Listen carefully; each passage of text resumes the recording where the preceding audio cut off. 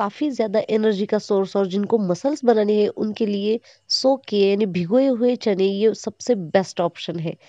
आज वही रेसिपी हम बनाएँगे, बहुत सारे ऑप्शन है, चना मसाला वगैरह वगैरह बट आज हम जो बनाएँगे इंस्टेंट है और काफ़ी ईजी है। ये रात भर भिगोए हुए चने हैं, दस से बारह घंटे हमें भिगोना है। काफ़ी इजी और इंस्टेंट रेसिपी है। गैस पे लोहे का तवा पैन रखा है, उसमें थोड़ा सा एकदम ऑयल डाला है और अभी उसमें तीन चार लहसन की कलियाँ क्रश करके डालिए। लहसन जो आपके ब्लड में गुठलियाँ नहीं बनाता है और थोड़ा सा अभी हल्का सा नमक डालना है हमें। लहसुन का कलर ऐसे बदलते ही हमें डालना है। थोड़ी सी हल्दी जो एंटीबायोटिक एंटीसेप्टिक है थोड़ा सा नमक और बस चने डालने हैं हमें।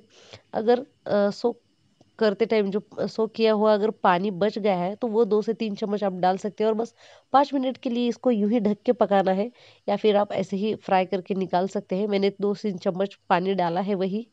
और बस अभी कुछ नहीं। और लोहे की कढ़ाई यानी तवे का इस्तेमाल, आप जानते ही हैं, इससे बहुत सारा कैल्शियम आयन मिलता है। मीडियम गैस पे पाँच मिनट ढककर पकाने के बाद इस तरीके से चने ड्राई होते हैं। अब हमें ऐसे प्लेट में बाउल में निकाल के लेना है। ये बच्चों के लिए बहुत हेल्दी है क्योंकि बच्चे बहुत खेल कूद करते हैं, दौड़ना भागना उनका रहता है। तो अगर प्लेट में आप टेबल पर रख देते हो तो आते जाते वो खाते रहते हैं और इंस्टेंट एनर्जी उनको मिलती है भाग दौड़ करने के लिए। सो ये सभी के लिए हेल्दी है, बहुत ज़्यादा फाइबर है इसमें। जल्दी में हो, थक गए हो जिम से आए हो तो इंस्टेंट एनर्जी के लिए चने बेस्ट है। घुटनों का दर्द, जोड़ों का दर्द इससे छुटकारा पाने के लिए, मजबूती पाने के लिए भी चने काफ़ी फ़ायदेमंद है।